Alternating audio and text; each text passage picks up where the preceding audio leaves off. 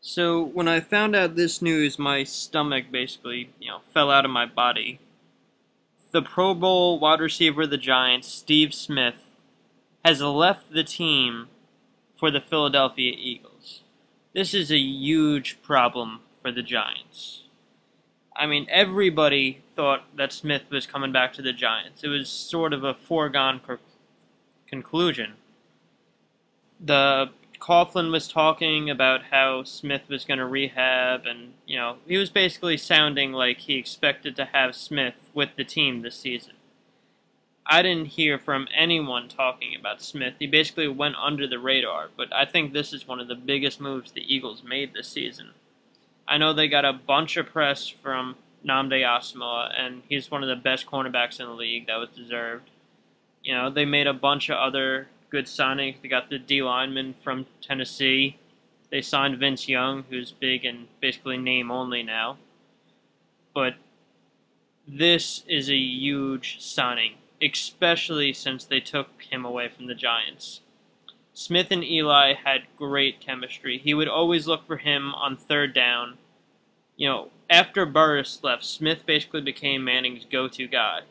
Now, I know we still got Hakeem Nicks and Mario Manningham, but even with the chemistry Eli has with those two, Smith was his go-to guy. They can just like look at each other, and they knew what was going to happen. And he was a clutch player. He came up big in the playoffs and the Super Bowl, and on third down especially, he was one of the best slot receivers in the league. Now, Smith leaving along with Boss, this puts the Giants in a tough situation they don't have an NFL tight end. I know they have Travis Beckum, and I have no clue who else they have. I don't think anybody else does, but it's not an NFL caliber tight end. They have Hakeem Nicks, who is a young but good wide receiver. They have Manningham, who's, you know, decent. He can, you know, get shut down occasionally. And then I really can't think of anybody else that's quality on the team as far as an offensive weapon.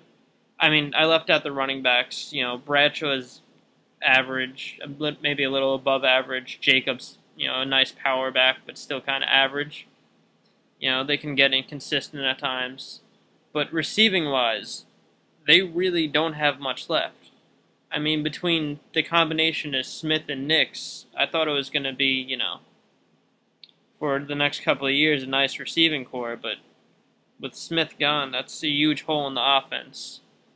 Now, this is going to help the Eagles greatly. Now, Smith, he's probably not going to play for a while. He has a big problem with his knee. And that's the only excuse I can give the Giants, is that they think he's never going to be the player that he was a couple of years ago. And who knows, maybe they're right. Maybe, you know, the Eagles just wasted $4 million.